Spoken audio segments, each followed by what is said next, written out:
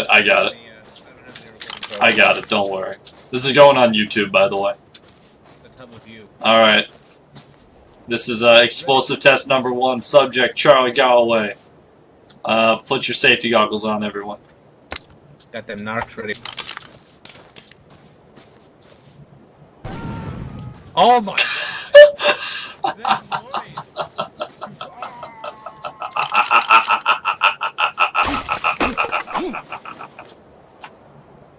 Charlie, what was that like? Tell us your experiences in uh, excruciating detail. Charlie? I think I killed him. I think we killed him. That was a that was pretty much a perfect throw too. It was. It landed right at his feet. Oh, good job. We need to tame the. Uh,